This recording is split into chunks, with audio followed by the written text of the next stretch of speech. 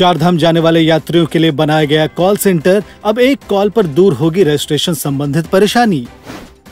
केदारनाथ धाम के लिए हेलीकॉप्टर सेवा की बुकिंग शुरू, पहले ही दिन 30 अप्रैल तक की बुकिंग हुई फुल महाकाल मंदिर में शीघ्र दर्शनम व्यवस्था में बदलाव 250 रुपए वाली ऑफलाइन रसीद हुई बंद।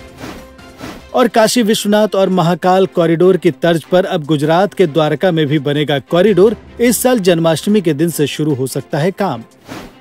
चार धाम यात्रा पर जाने वाले यात्रियों के लिए एक कॉल सेंटर की स्थापना की गई है, जहाँ एक कॉल पर यात्रा पर जाने वाले यात्री सहायता ले सकेंगे। ये खास तौर से उन यात्रियों के लिए काफ़ी मददगार साबित होगा, जिन्होंने अपने होटल की बुकिंग करवा रखी है, लेकिन उन्हें वेब पोर्टल या मोबाइल ऐप के माध्यम से पंजीकरण नहीं मिल पा रहा है। वो एक फ़ोन कर अपना पंजीकरण करवा सकते हैं। उत्तराखंड विकास परिषद की तरफ़ से इस बात की जानकारी दी गई है। ये कॉल सेंटर पंद्रह लाइन वाला है, जिसे देहरादून स्थित मुख्यालय से संचालित किया जा रहा है। केदारनाथ धाम के लिए हेलीकॉप्टर सेवा की बुकिंग शुरू हो गई है।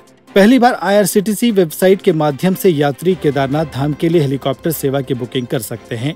इसमें एक बड़ा अपडेट ये है कि हेली सेवा की बुकिंग खुलते ही पहले ही दिन 30 अप्रैल तक की सारी बुकिंग फुल हो चुकी है। 30 अप्रैल के बाद की बुकिंग के लिए अभी स्लॉट का समय तय नहीं किया गया है। केदारनाथ धाम के लिए गुप्तकाशी, सिरसी, फाटा हेलीपैड से 25 अप्रैल से हेली सेवा का संचालन शुरू होगा। इसमें नौ हेली कंपनियों के माध्यम से सेवा संचालित की जाएगी। मध्य प्रदेश के उज्जैन में स्थित बाबा महाकाल मंदिर में शीघ्र दर्शनम व्यवस्था में एक बड़ा बदलाव हुआ है। मिली जानकारी के मुताबिक, अब 250 रुपए वाली ऑफलाइन रसीद बंद कर दी गई है। श्रद्धालुओं को ये रसीद ऑनलाइन माध्यम से लेना होगा। अचानक हुए इस बदलाव से श्रद्धालुओं को काफ़ी परेशानी हो रही है। आपको बता दें कि पिछले कुछ दिनों में यहाँ शीघ्र दर्शनम व्यवस्था में दो बड़े बदलाव किए गए हैं। इससे पहले शीघ्र दर्शनम के प्रवेश द्वार की सड़क को बंद कर दी गई थी। अब चार धाम मंदिर की तरफ़ से सभी श्रद्धालुओं को प्रवेश दिया जा रहा है।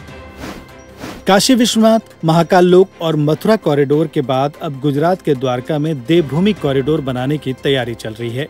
केंद्र सरकार इसे पश्चिम भारत का सबसे बड़ा आध्यात्मिक केंद्र बनाए जाने की योजना तैयार कर रही है। गुजरात के सबसे बड़े धार्मिक प्रोजेक्ट से न सिर्फ़ द्वारका की सूरत बदलेगी, बल्कि शिवराजपुर समुद्री इलाके को भी डेवलप किया जाएगा। द्वारका पोरबंदर सोमनाथ लिंक प्रोजेक्ट का भी काम शुरू किया जाएगा। आपको बता दें कि पोरबंदर सुदामा की जन्मस्थली है, जबकि सोमनाथ के पास श्री कृष्ण ने देह त्यागी थी। मिली जानकारी के मुताबिक जन्माष्टमी से द्वारका देवभूमि कॉरिडोर का काम शुरू हो जाएगा। अयोध्या में बन रहे राम मंदिर को भव्यता देने के लिए परिसर में गणेश, हनुमान, सूर्य, माँ भवानी और महादेव के पंचदेव मंदिर के साथ साथ श्री राम के वनवास काल की चर्चित विभूतियों जटायु, माता शबरी, निषाद राज को भी स्थान दिया जाएगा। रामनवमी के अवसर पर रामलला की प्रतिमा पर सूर्य की किरणें सीधे पहुँचे। इसके लिए अंतरिक्ष विभाग और अन्य संस्थाओं के वैज्ञानिकों के साथ काम किया जा रहा है और इसके अनुरूप ये भी तय किया जा रहा है कि मूर्ति की ऊंचाई क्या होगी। फ़िलहाल पंचदेव मंदिर की नींव पड़ चुकी है। इसे पहले चरण में ही बनाया जाएगा ताकि श्रद्धालु भगवान राम की पूजा करने के बाद पंचदेवों का दर्शन एवं परिक्रमा करके विधिवत रूप से अपनी पूजा पूरी कर सकें।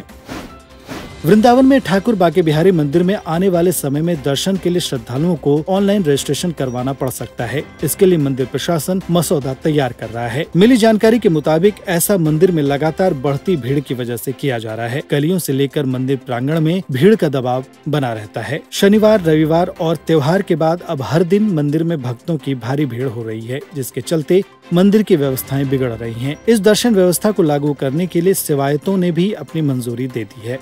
Thank you.